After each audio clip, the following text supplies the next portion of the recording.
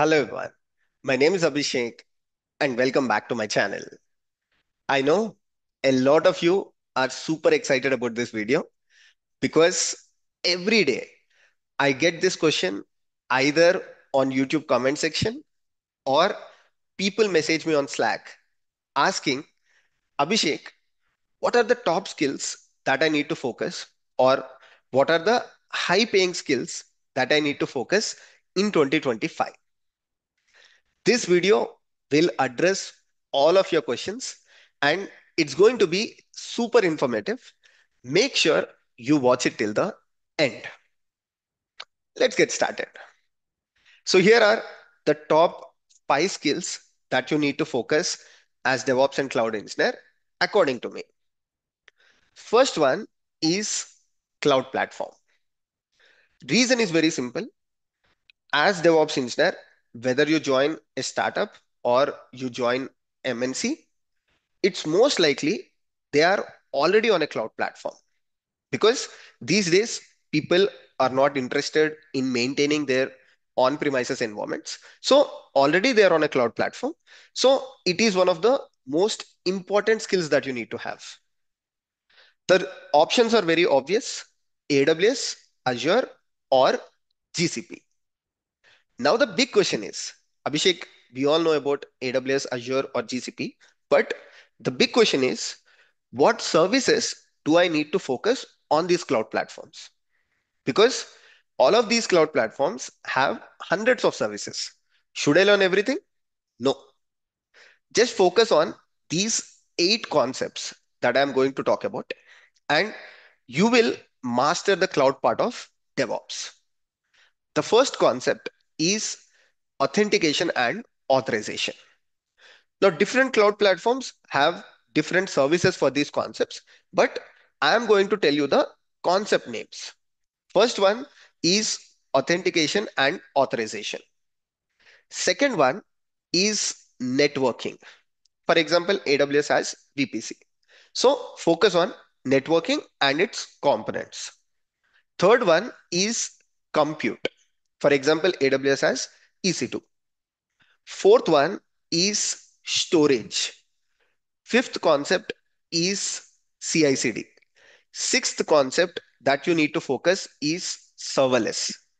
Seventh concept that you need to focus is security and compliance. Finally, focus on cost optimization. If you learn these eight concepts, you will master cloud part in the DevOps field, right?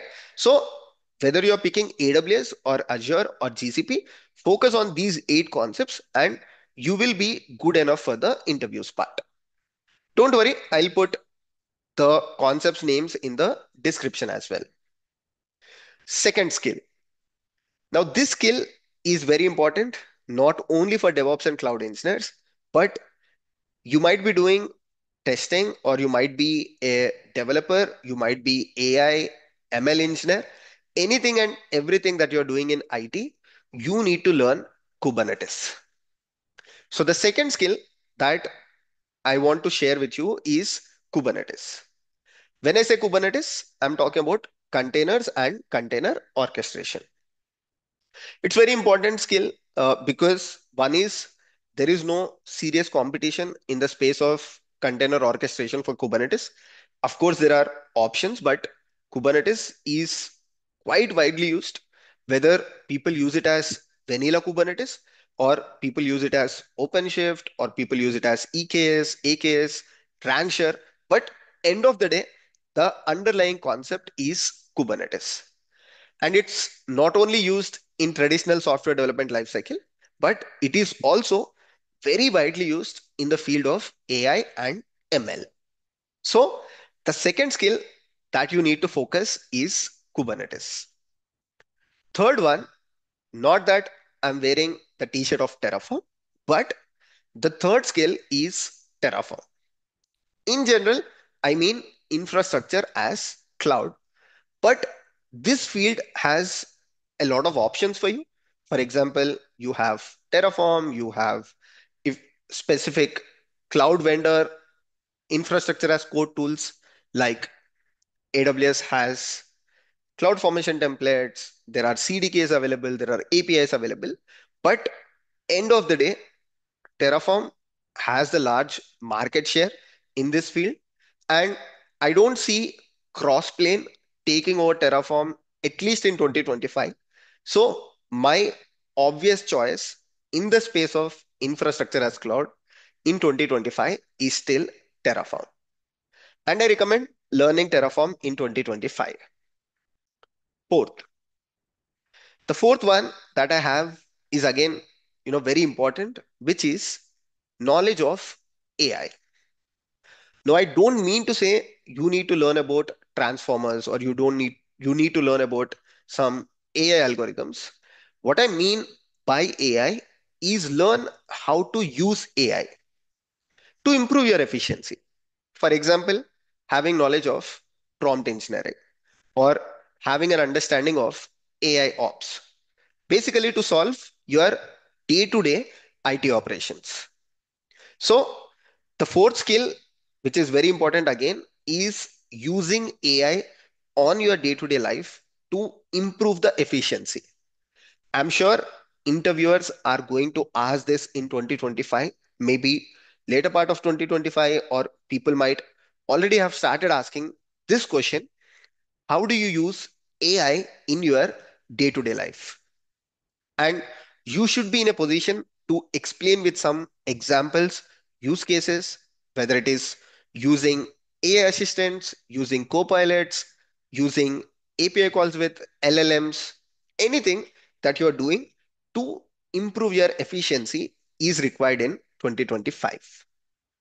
Finally, my fifth and another important skill for today that you need to focus is CI/CD.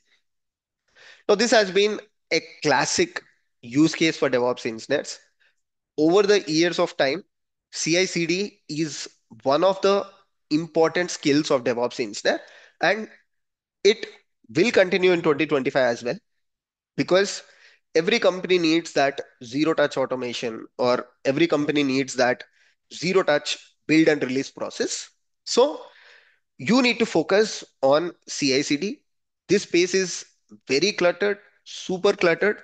If you ask me, two tools that you need to focus on CI part, I will recommend Jenkins and GitHub Actions or go with GitHub Actions and GitLab pipelines. In the CD space, I would only recommend Argo CD because Flux CD, uh, you know, a lot of things going on with Weaveworks. Everybody knows about it. So the popular option that you have today is Argo CD.